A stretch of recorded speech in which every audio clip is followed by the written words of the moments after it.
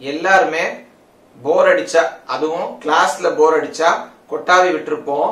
இந்த கொட்டாவி ஏன் வருது? இன்னைக்கு வீடியோல பார்க்கலாம். ஹாய் ஃப்ரெண்ட்ஸ் நான் உங்கள் டாக்டர் கராமத். இது தமிழ் டாக்டர் சேனல்.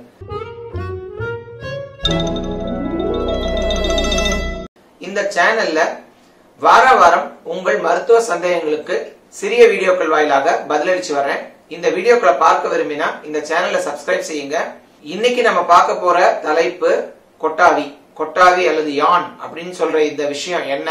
இது ஒரு இன்வாலண்டரி பினாமினன் சோ நம்மள அறியாமலே நம்ம வேணும்னு நினைச்சு செய்யறது இல்ல நம்மள அறியாமலே நடக்கிற விஷயம். இதுல என்ன ஆகுது? நம்ம வாயை அகல திறக்கிறோம் நிறைய மூச்சை உள்ள எடுக்கிறோம் பிராக்டிக்கலா லங்ஸ ஃபுல்லா ஏர்ல ஃபில் பண்ணிக்கிறோம். இது எதனால் நடக்குது? எக்ஸாக்டா யானிங்கோட மெடிக்கல் மெக்கானிசம் எப்படி அப்படின்னு ரிசர்ச்சஸ் இன்னும் கண்டுபிடிக்கல. ஆனா இது எதனால ட்ரிகர் ஆகுது அப்படிங்கிறது நமக்கு தெரியும். டயர்டா இருந்தோம்னா தூக்கம் வந்துச்சுன்னா ரொம்ப போர் அடிச்சதுன்னா இதெல்லாம் பொதுவா இந்த கொட்டாவி வர்றதுக்கான காரணங்கள் அப்படின்னு நம்ம எல்லாருக்கும் தெரியும். இன்னொரு காரணம் கொட்டாவி விட்டுருக்கிற ஒரு பர்சனை பார்த்தோம்னா அவங்கள பார்த்து நம்மளும் கொட்டாவி விடுறோம். இது இயல்பான ஒரு விஷயம் தான் இது ஒரு form of social communication so அவங்களுக்கும் நமக்கும் தொடர்பு மாதிரி.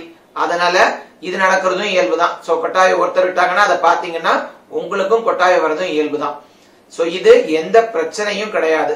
யானிங் நேச்சுரல் ரெஸ்பான்ஸ் தான். எப்போ கொட்டாவி பிரச்சனையாகும்? அதிக கொட்டாவிகள். அதிக கொட்டாவிகள்னா எவ்வளோ? ஒரு நிமிஷத்துக்கு ஒரு கொட்டாவிக்கு மேல. தொடர்ந்து கொட்டாவிகள் அப்ப வந்துகிட்டே இருக்குன்னு அர்த்தம். அந்த மாதிரி இருந்ததுன்னா அது நார்மலா இருக்க முடியாது. அவங்களுக்கு ஏதாவது நோய்கள் இருக்கலாம். என்ன மாதிரி நோய்கள்? ஸ்லீப் டிசார்டர்ஸ் தூக்கத்துல ஏற்படும் பிரச்சனைகள் இருக்கலாம்.